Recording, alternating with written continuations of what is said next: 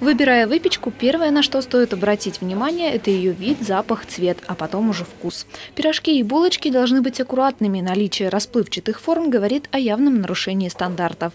Цвет мучных изделий должен быть ровным, без контрастных участков. Коричневая корочка пирожка скорее указывает не на степень прожарки, а на не вовремя смененное масло во фритюре.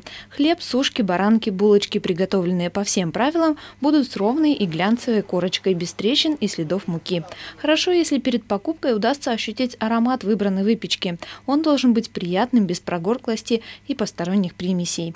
Проверить свежесть выпечки можно слегка надавив на нее. Если форма быстро восстанавливается, а продукты мягкие на ощупь, то они, скорее всего, свежие. На упаковке хлебобулочных изделий, произведенных на заводе, всегда должны быть указаны наименование, состав, дата производства, срок годности, изготовитель и его адрес. А у продавца на руках имеется полный пакет документов.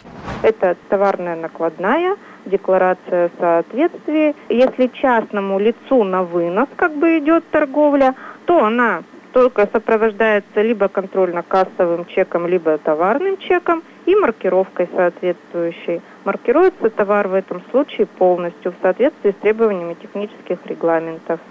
При покупке выпечки стоит обратить внимание и на условия ее хранения. Особенно внимательное отношение требует изделия без обертки. Они должны быть рассортированы по отдельным лоткам и защищены от рук прохожих. Если нет возможности убедиться, что пирожки или булочки были приготовлены и хранились по всем правилам, лучше отказаться от такой покупки, ведь такой ненадежный перекус может легко привести к пищевому отравлению.